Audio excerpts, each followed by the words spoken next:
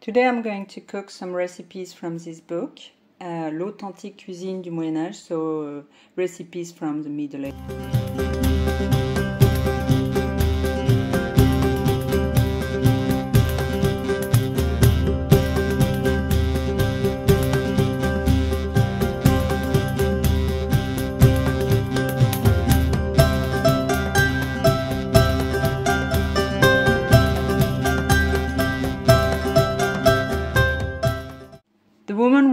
This uh, book, Françoise de Montmelon, is a cook at the castle of Guédelon. So here's my breakfast. So obviously no coffee as it was introduced in the 17th century to Europe and France. Instead I'm going to read this broth I made two days ago with chicken. And they used to dip some soda bread into their soup. So here's some soda bread. And I'm going to have a bit of this lard too. A boiled egg. And to finish, I prepared this yogurt uh, topped with dry grapes. Here's the broth reheated. So as you can see, I ate pretty much everything. Most difficult, of course, was um, not having coffee and to have to drink this soup first thing in the morning, but it was okay, in fact. So for lunch, I'm going to do this uh, green omelette.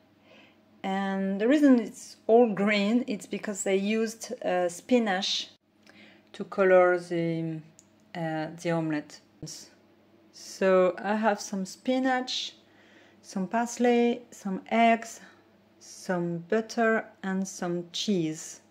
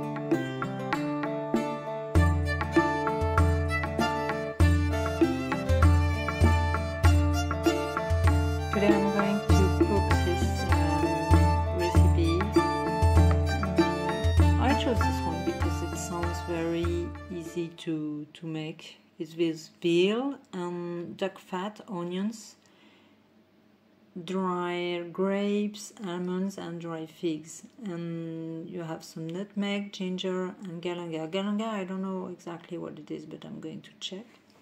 And you have some verjus. So I'm not I don't know what I'm going to do to substitute verjus because verjus is um, it's a very common uh, sauce in the Middle Age, made with um, very unripe grapes, and they put a lot of dry fruits in their dishes, and so a lot of uh, sour and tangy ingredients and flavors.